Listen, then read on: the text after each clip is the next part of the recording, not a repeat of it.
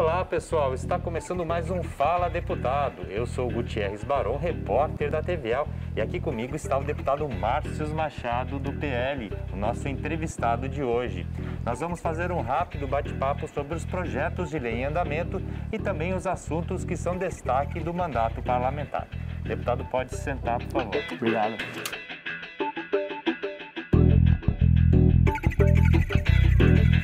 Já pode ir? Deputado, gostaria de começar essa entrevista agradecendo a sua presença aqui no Fala Deputado. Muito obrigado, parabéns a toda a equipe da TVA, de toda a rede que divulga as informações da Assembleia Legislativa. É muito importante para as pessoas saberem o que está acontecendo aqui na casa que emana as leis de Santa Catarina. Falando em leis, o senhor é um conhecido defensor dos direitos dos animais aqui no parlamento e já apresentou diversos projetos nesse sentido, né, deputado? Alguns deles, inclusive, já são lei em Santa Catarina. A gente pode citar a lei que determina que as escolas promovam campanhas de conscientização dos alunos, é isso? De fato. Então, hoje eu sou o coordenador da Frente Parlamentar de Proteção e Bem-Estar Animal. Eles não têm voz, mas nós temos. Então, a partir desse momento, com deputados e deputadas, vereadores e protetoras, nós vamos fazer um trabalho estadualizado. Então, nós conseguimos aprovar um projeto que não é só da minha lavra, mas de vários corações, de várias mãos, que é o projeto que traz conscientização do direito dos animais nas escolas. E aí esse projeto tramitou aqui na casa, o governador do estado sancionou e hoje é lei.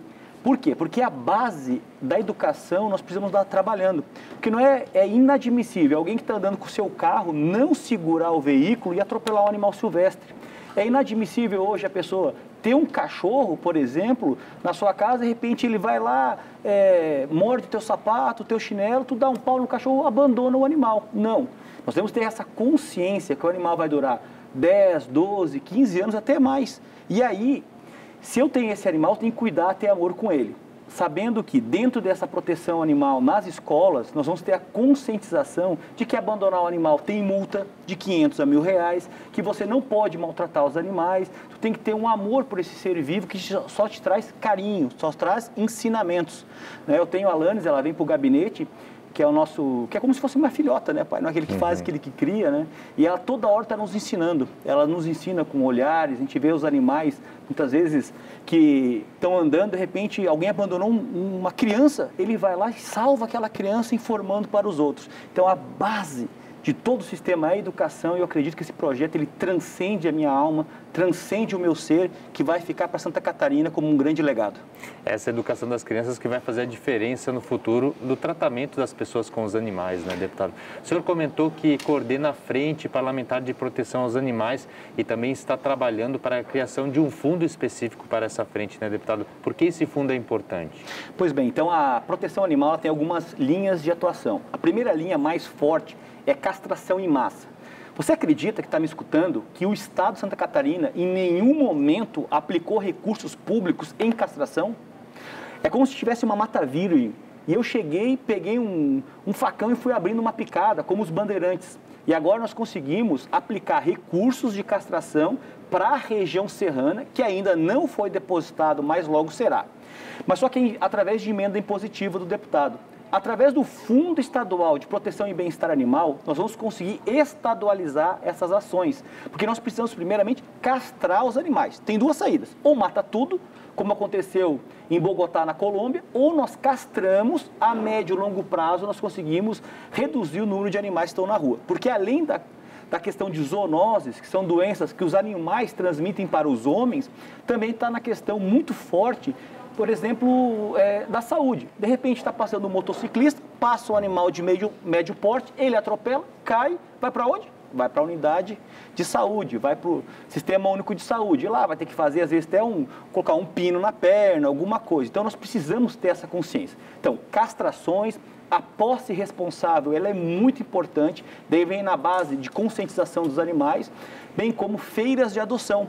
A gente consegue, através de uma ação muito forte nas redes sociais hoje, como eu sou lá de Lages, da região serrana, Muitas pessoas mandam para mim a foto de um animalzinho que, que foi abandonado, nós colocamos nas redes e a gente consegue uma adoção muito rápida. Isso é muito importante. Então, esse fundo vai trabalhar de uma forma estadualizada por 295 municípios e não só de forma é, microlocal ou micro-regional, que é a questão da região serrana. Outra questão aí que tem sido foco do mandato, do seu mandato parlamentar, é a farra do boi, né, uhum. deputado? O senhor foi autor de um projeto de lei que instituiu multa para os praticantes da farra do boi e agora apresentou um novo projeto aumentando essa multa.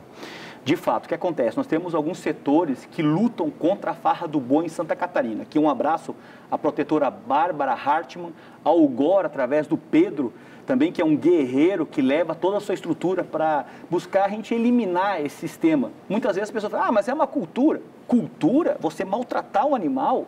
Cultura, tu pegar um boi sair correndo atrás do animal, dando pau nele, pensando, ah, ele é Judas, tem os pecados do mundo. É totalmente irracional e fora do contexto.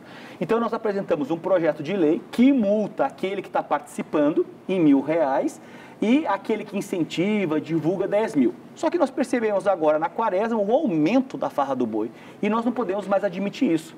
Então nós majoramos as multas. Então, para quem estiver divulgando vai ser 20 mil reais, para quem estiver participando 10 mil reais, aquele que leva o boi com caminhão vai ter uma multa de 10 mil, o proprietário do caminhão, aquele que vende, porque além de tudo isso, do animal levar um pau danado, o que acontece? As cidades que vêm e sacrificam o bicho. Por quê? Porque não tem rastreabilidade, eles tiram o brinco do animal. Então nós temos hoje selos internacionais que garantem a qualidade da carne, por isso que eles eliminam.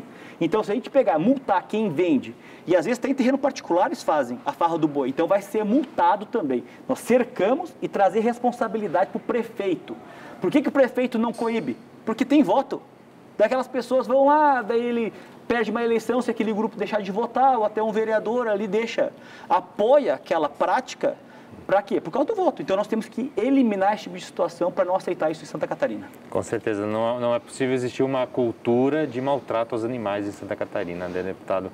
Além da, dessa questão dos animais, o deputado também é, tem prestado muita atenção à área da educação, inclusive foi autor de algumas emendas parlamentares ao orçamento do Estado, direcionando recursos para cidades. De fato, o que acontece? Hoje, eu sou o único deputado eleito estadual da Serra Catarinense. Então eu estou trabalhando de forma macro dos 18 municípios. Em 2020, para 20, de 19 para 20, eu coloquei 22 parques infantis, um para cada município e cinco para Lages. Lages é grande, mãe. Tem mais de 70 unidades de creche.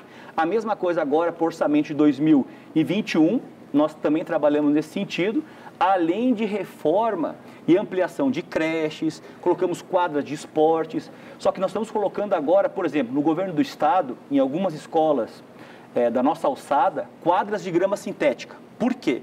Porque a quadra de grama sintética ela tem maior durabilidade. O nosso clima lá é muito frio, chove bastante. Então, se nós temos uma quadra moderna, bonita, vai ter mais prática de esporte vão poder praticar é. esporte, exatamente. E o que acontece? Além disso, eu sou o único deputado dos 40 que tem uma equipe de engenheiros e arquitetos só para fazer projeto. Hum. Então nós estamos agora fazendo um trabalho muito forte de doação de projetos para os municípios, que já estava fazendo no primeiro momento, e agora para o Estado. Também. Uma economia aí para as prefeituras e também para o Estado. Uhum. Deputado, vou pedir uma licença. Infelizmente, o nosso tempo chegou ao fim. Agradeço e... novamente a sua participação aqui hoje. A gente gostaria de usar muito mais tempo falando de diversos outros projetos que o deputado tem, mas aí fica por uma próxima edição. Show de bola, um Obrigado grande abraço. pela participação. Obrigado. E você que está aí nos assistindo, continue na programação da TVA acompanhando as informações do Parlamento e também pelas redes sociais da Assembleia e pela Rádio AL. Nós voltamos no próximo programa com mais um deputado entrevistado. Até mais.